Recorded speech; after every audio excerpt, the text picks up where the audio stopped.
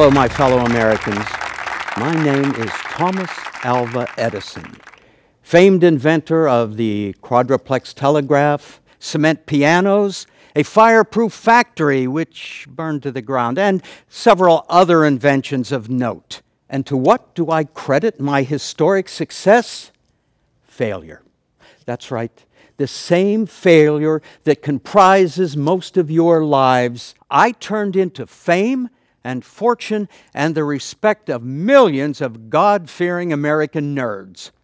You see, I'm like one of your friends who asks every woman he meets for a date because he knows eventually one will say yes. But I'm not looking for a mate. I'm looking for financially significant patents that haven't been claimed. At the beginning, I did things the hard way, invented something truly new, a dead end cylindrical phonograph technology that earned me the name Wizard of Menlo Park, owing to the complete stupidity of people of the time. This invention taught me that genius is 1% inspiration and 99% perspiration. I tested this theory literally, drinking the sweat of great minds in order to steal their ideas. I soon learned it was far simpler to use legal and business means. Joseph Swan. it was around that time that I felt a something uh, turning on over my head, and I thought, hey, here's an idea. Let's slightly improve upon and patent for profit. I am referring, of course, to the incandescent light bulb, the same bulb we're using it. Oh, I see these are all LED lights. Still, the incandescent had a great run, and as far as most of you know, I invented it.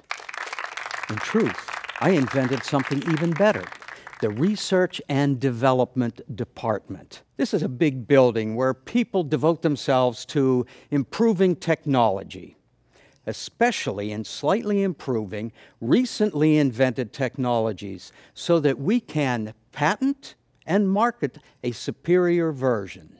And the best thing about that building, I own it. So anything that is invented by anybody in that building, I invented it in much the same way your boss is responsible for all of your best work. Imagine if I had tested my ideas on x rays myself. Instead of my employee, Clarence Dally, it would have been me who had his arms amputated and later died of cancer. And logistically speaking, it's a lot easier to put your name on ideas when you house people all in the same building. Apple and Disney, you're welcome. Say, did you ever notice that Edison is almost an anagram for Disney? And that we both sign our names like egomaniacal dicks? But I digress. Once you have set up your invention factory, then all you have to do is find inventions whose time have come and put your name on them. Take the light bulb. There were more than 20 versions before ours, and I had to sue for six years to win that patent. Our argument was that I had found a better filament. I found it because I had hundreds of employees testing hundreds of materials, sometimes almost haphazardly, until by chance they came up with one that was superior to our competitors. See? Enough failure always leads to eventual success. But hire someone to do the failing for you. Then you can focus on marketing and infrastructure. I always knew that the big money was in becoming a utility, and I made electricity cheap and available for the first time infrastructure. As for marketing, I told everybody that the competitors' electricity would kill their families, and proved it by electro killing stray dogs and cats, and once even an elephant uh, for variety. Then I invented the electric chair and got it made a legal form of execution. I'm only sorry that uh, Topsy the elephant isn't alive to see how I feel. Booyakasha!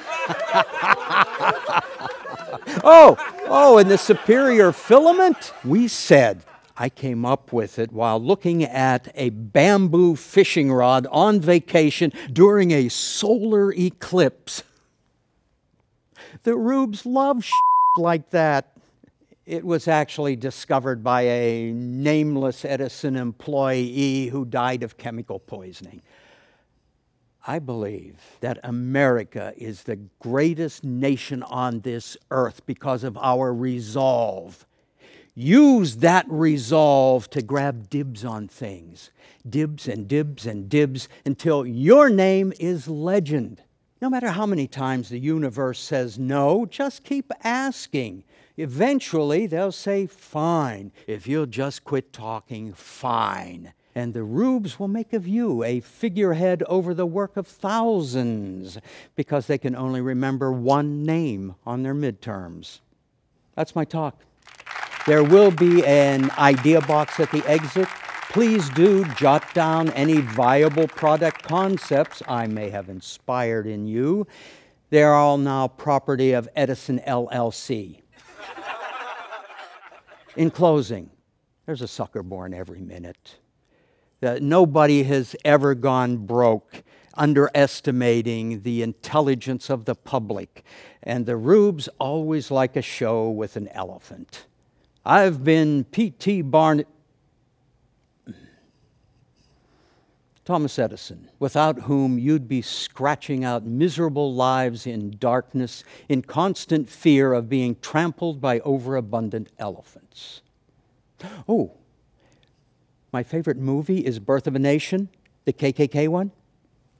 Thank you.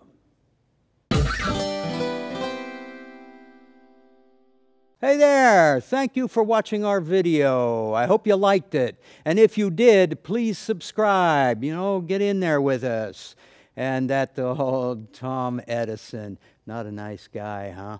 Boop! I've got an idea. Why don't you tell us who your favorite human monster is? Write in, huh? Thanks.